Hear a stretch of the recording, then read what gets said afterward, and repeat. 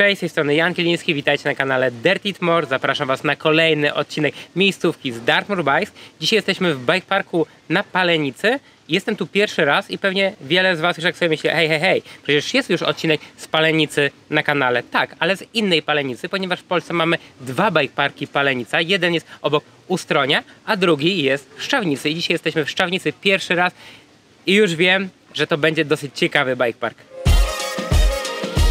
Szczawnica znajduje się 150 km na wschód od Bielsko-Białej, leży na granicy Pienin i Beskidu Sądeckiego, miasto uzdrowiskowe i co ciekawe, znajduje się tylko 17 km od znanego bajparku Kluszkowce, w którym co rok odbywa się festiwal Joyride. Już na pierwszy rzut oka widać, że jesteśmy w centrum miasta turystycznego. Siedzę sobie na ławeczce pod wyciągiem na promenadzie. Wokół mamy dużo atrakcji różnego typu. Oczywiście są też takie typowo odpustowe, ale widać, że miejsce się zmienia i mamy coraz więcej obiektów na wyższym poziomie. Zresztą o tym powiem troszeczkę później, ale pierwsze, pierwsze wrażenie jest takie, że jesteśmy w mieście, dużo się dzieje wokół i nie jest na pewno taki bike park na odludziu, jak na przykład Palenica, która była w Ustroniu. Idziemy na rower. Zanim wjedziemy na bike park, to zawsze dobrze podejść sobie do mapki, zobaczyć z jakimi trasami będziemy musieli się zmierzyć tego dnia. No i już na dzień dobry widzimy, że mamy trasę czerwoną, czarną, czerwony rozbójnik, czarna ciupaga. Nie ma tras łatwych, nie ma tras e, niebieskich, nie ma tras zielonych, czyli raczej będzie dzisiaj free ride. I jeszcze jedna ważna rzecz. Zwróćcie uwagę, że już widzimy te trasy nie kończą się po całym wyciągiem i dobrze spojrzeć, że jak zjedziemy z góry, to będziemy musieli się kierować w lewo. No tak, dobrze to sprawdzić, żeby na przykład nie pojechać w prawo i nie ocknąć się, że jesteśmy na Słowacji. Jeżeli chodzi o samą różnicę wzniesień, to widzimy, że szczyt jest e, 722 metry nad poziomem morza. Nie ma podane ile jest na dolnej stacji, ale szybko spra sprawdziłem na Trailforksie i mówimy o jakichś 250 metrach różnicy wzniesień, czyli górka troszeczkę mniejsza niż góra Żar. Znaczy nie jeżeli chodzi o wysokość, ale o różnicę wzniesień na samych trasach.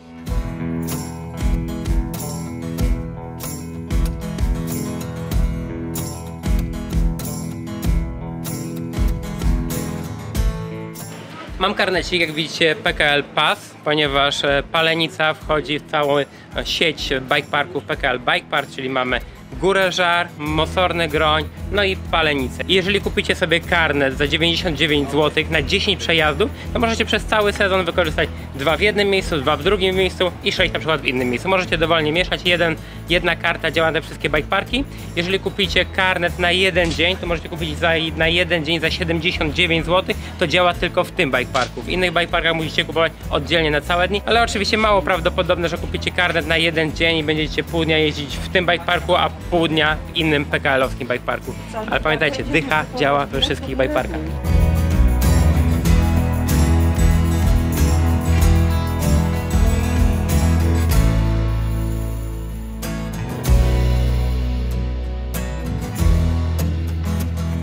Wjeżdżam pierwszy raz na górę i jak widzicie sposób zaczepiania roweru jest taki hmm, dość oryginalny. Nie spotkałem się jeszcze z takim. Na pewno trzeba się zapoznać z procedurą, czyli najpierw obniżamy barierkę, dopiero zakładamy rower, podnosimy barierkę, siadamy. No i gdzieś musimy uważać, bo barierką można byłoby uderzyć rower, ale ogólnie jak już rower wisi, to jest bezpieczny. Tu mamy gąbeczkę. Zobaczymy jak będzie na górze, ale podobno jest na tyle wolno na górze, że nie powinno być z tym problemu. Wjeżdżamy na górę i już widać gdzie są bramki, więc wiemy w którym kierunku będziemy się kierować. O, zobaczcie, tu trzeba uważać, żeby nie uderzyć. Zobaczymy jak mi się uda z wychodzeniem. Zresztą zobaczymy jak się uda ludzkowi z wychodzeniem, bo to jest śmieszniejsze zawsze. Pyk, pyk. No i ja sobie myk myk ogarnąłem.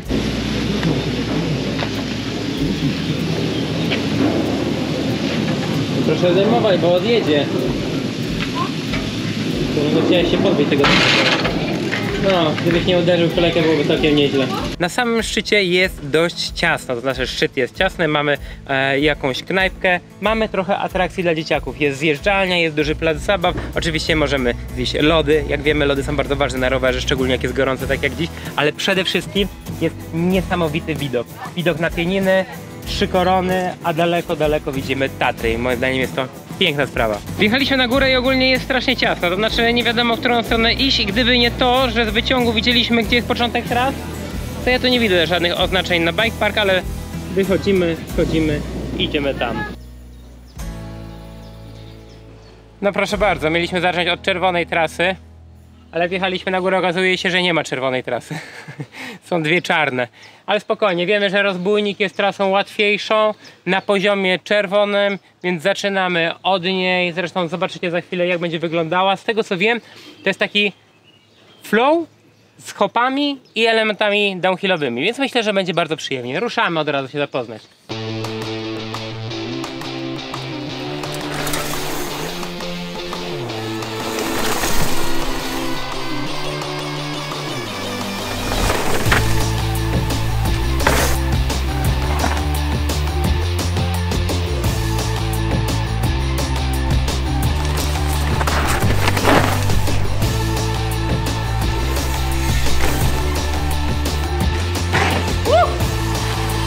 Jesteśmy w jakiejś połowie trasy.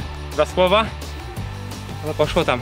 Ogólnie widać, że nikt tu nie jeździ. Nie było nikogo na wyciągu, nie było nikogo na trasie, jak powtarzamy. I dzięki temu trasy są idealnie równe, gładkie, nie zepsute od kół. I to jestem pod ogromnym wrażeniem, bo dawno nie jeździłem już tak naprawdę prawie że w połowie sezonu na tak fajnie przygotowanych trasach. Te elementy, które mają być flowowe, są fajnie przygotowane, zakręty idealnie gładkie, plus jest trochę elementów takich terenowych. Jeżeli chodzi o jumpy, jeżeli ogarniacie jumpy, że tak powiedzmy, że większość stolików, które tam widzicie w bike parkach skaczecie, to tu większość możecie lecieć z bomby, chociaż musicie uważać, bo czasem po hopie jest nagły zakręt. Po hopie trzeba wyhamować i gdzieś polecieć tak, żeby się zmieścić, więc bym uważał e, z prędkością za pierwszym przejazdem, a poza tym uważam, że ta trasa jest bardzo fajna, ale jest zupełnie inna niż typowa trasa bike parkowa. A dlaczego? Powiem wam dopiero jak jadę na sam dół.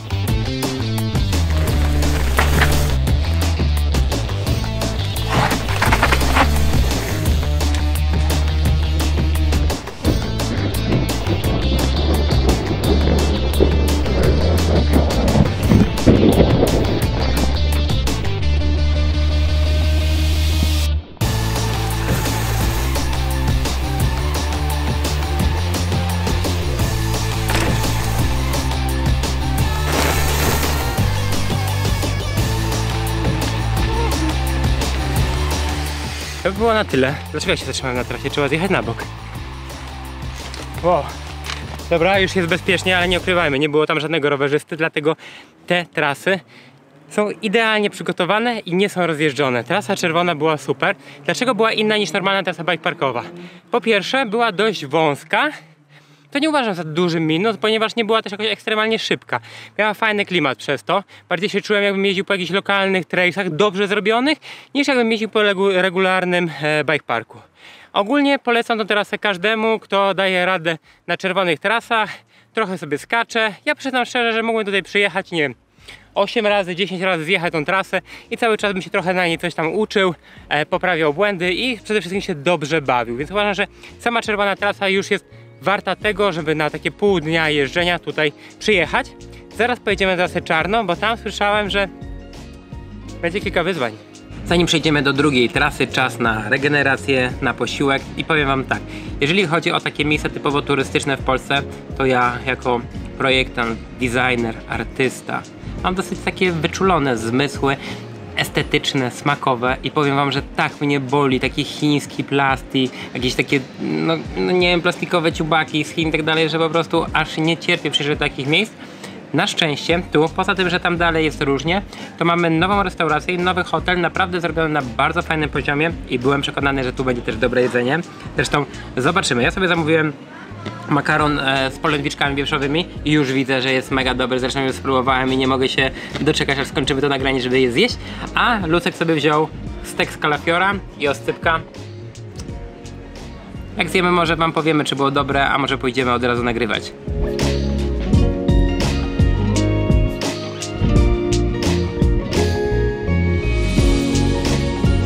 Drodzy widzowie, jak wiecie, od dawna nie było Magdy w żadnym filmie, a to ona jest prawdziwą ekspertką od jedzenia. Ja oceniam jedzenie naprawdę bardzo, bardzo dobrze.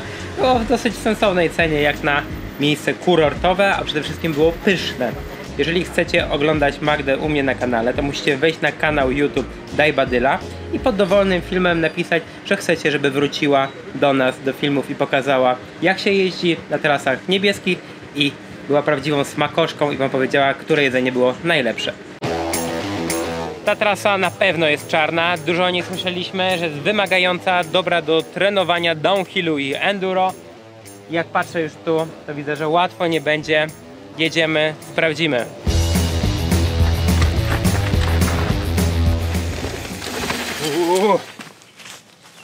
No i tak, jeżeli chodzi o cza, cza, to nie jest, to jest ciupaga, nie czarna, czy, czy czarna, nie czerwona, ciupaga. Proszę bardzo, nie wiem jak bardzo będzie widać to w obiektywie, ale mamy zeskok, lądowanie, ujdzie, ściana, ostry zakręt 90 stopni w miejscu. Tej trasy nie lecimy z bomby. Jak przejdziecie, przejedźcie, zapoznajcie się z nią, bo tu jest strasznie dużo nieoczywistych przeszkód i moim zdaniem trochę niebezpiecznych, ale jeżeli chcemy się wybić na wyższy poziom jazdy, to czasem musimy jeździć też po niebezpiecznych przeszkodach.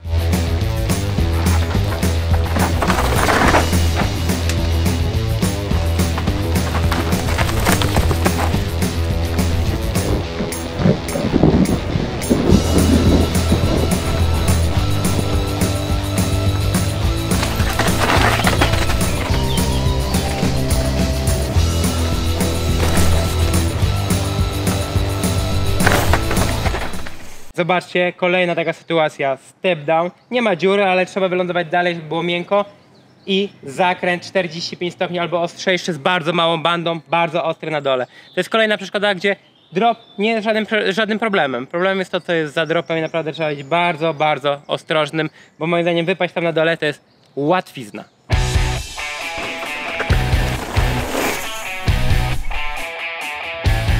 Jesteśmy w jednym z dwóch, moim zdaniem, najtrudniejszych elementów na tej trasie. Jest to ścianka z dodatkowymi zakrętami, z progami, których nie da się zjechać. I ogólnie jak wpadamy na początku i coś nam pójdzie nie tak, to już dobrze nie będzie. Myślę, że bardzo wymagający element, rzeczywiście fajnie go przejechać kilka razy, pouczyć się. Zobaczymy jak mi to pójdzie. Będę jechał drugi raz, bo już raz przejechałem.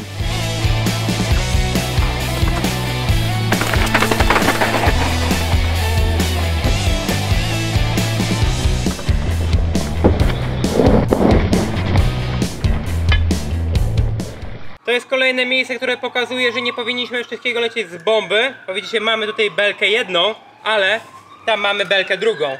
Czyli jeżeli ja bym nie doleciał przodem albo tyłem, to tak jak słyszycie, nawet karetka jedzie już w tle. Lucek powiedział, lepiej żebyś tego nie skakał.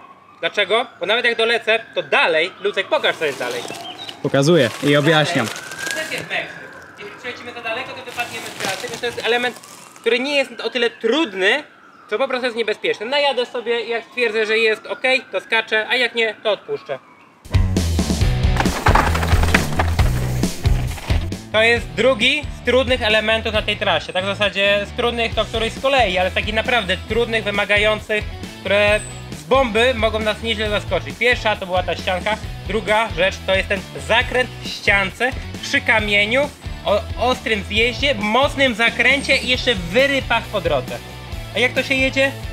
Tak.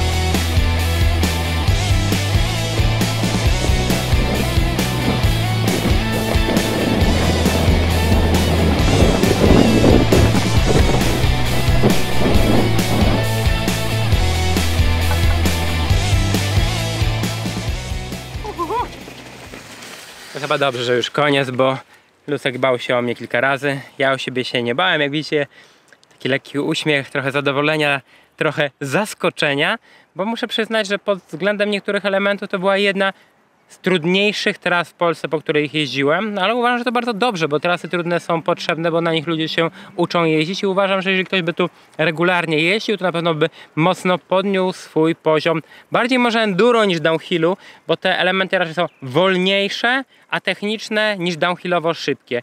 Ja się bawiłem ekstra i uważam, że tutaj kilka razy mógłbym zjechać, podnieść swój poziom, ale zdecydowanie ze zbrojką, full face i tak by było dużo, dużo, dużo lepiej. Ruszamy dalej, idziemy spotkać się z Wiktorem, który opowie nam troszeczkę o tej rowerowej okolicy. Dzisiaj mamy mega farta, potrafiliśmy lokalesa Wiktora. Siemanko. Bijemy sobie żółwika. Wiktor, to jest bardzo poważna rzecz, widzisz tam to okienko? No. Tam jest 10 tysięcy albo i więcej ludzi, którzy czekają, żebyś ty im teraz opowiedział, jakie inne trasy rowerowe i atrakcje rowerowe są wokół Szczawnicy. No więc wokół Szczawnicy. Zacznijmy od legalnych rzeczy, tak? Czyli ten bike park, który mamy za naszymi plecami, gdzie są dwie trasy. Kolejnym legalnym, kultowym, znanym bike parkiem jest, są Pruszkowce.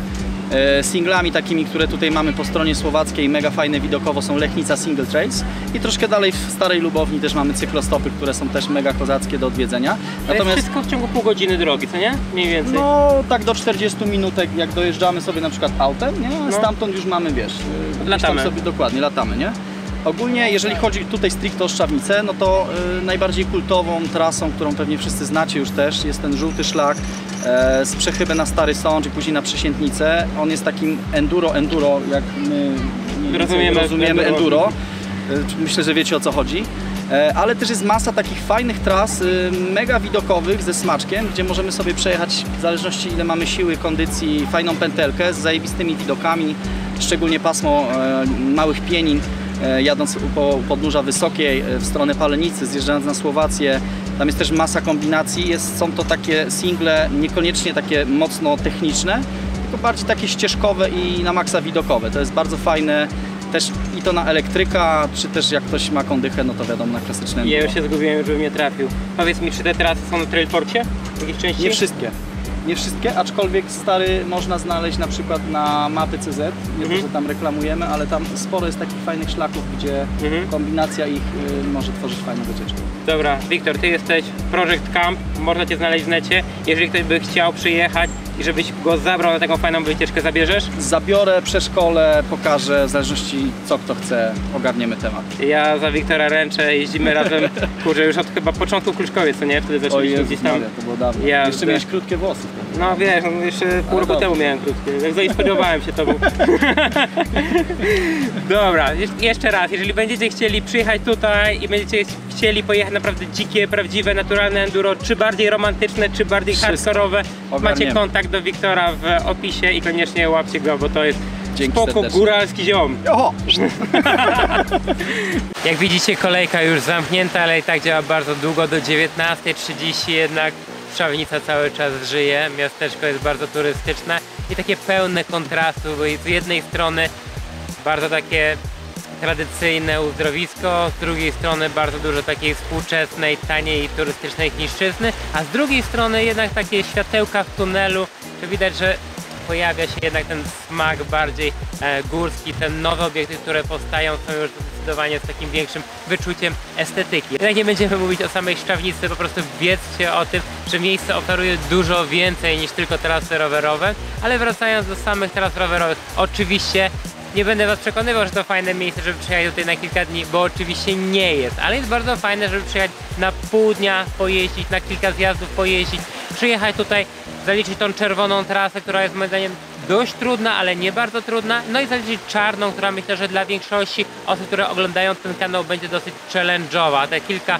elementów, głównie te dwa elementy będą naprawdę trudne. Spodziewałem się, że będzie gorzej, było lepiej niż się spodziewałem. Ten dzisiejszy dzień był naprawdę bardzo fajny, a najfajniej to po tej całej parówie było wejść do wody, wychillować. No ogólnie miejsce takie typowo wakacyjne, przyjemne. A jeszcze jedna rzecz. Nikt poza nami dzisiaj nie jeździ na bike park. Byliśmy jedynymi rowerzystami. Myślę, że to kwestia tego, że było tak gorąco, ale myślę też, że przez to, że jednak ten bike park nie jest tak popularny, e, trasy są tak zachowane jak są, więc warto tu przyjechać, póki jeszcze nie przyjechały tłumy i sobie sprawdzić, bo moim zdaniem jest dużo lepiej niż moglibyście się spodziewać. To by było na tyle, trzymajcie się, cześć! Pamiętajcie, że na niebieskich trasach możecie trafić na amatorów. Nie należy straszyć amatora, bo może wpaść w krzaki. Skaczego dropa! Uuu, szeroko, ładnie wszedł. Miota nim jak szatan. Ten plecak to na pewno ci pomaga, co? O, ale lata! Dirty Mode!